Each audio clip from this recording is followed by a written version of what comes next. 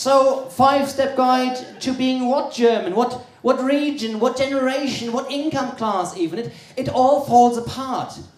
Culture and identity can't be defined.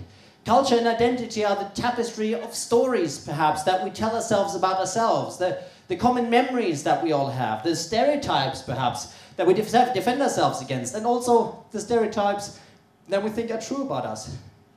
And out of all the stereotypes about us Germans, and there are a few, out of all of those, we have one good one.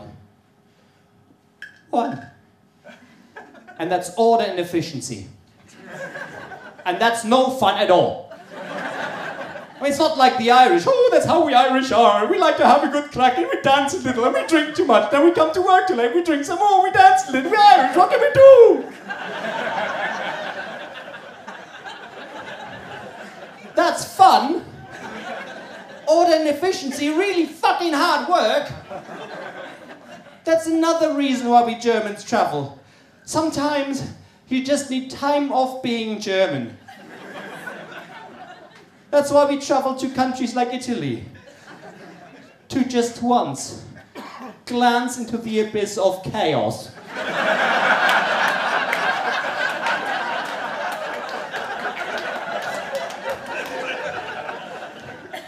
It's our guilty pleasure.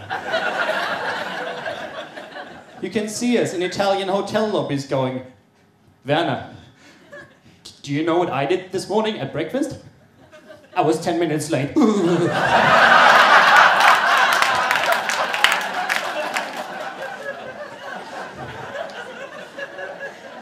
Order and efficiency are no fun. They only become fun when you get to go abroad and compare them to how shit everything is elsewhere. That's another reason why we travel. Ah, oh, we don't take our holiday snaps at the beaches. No, we take them in the toilets. when we see that sign, please flush nothing but toilet paper down this toilet. Oh. That's when we get that iPhone out and take that picture for our friends back home.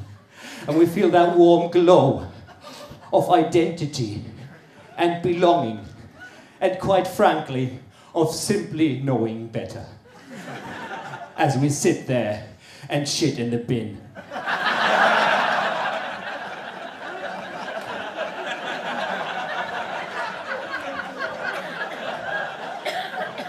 It's a sign. You can't disregard a sign.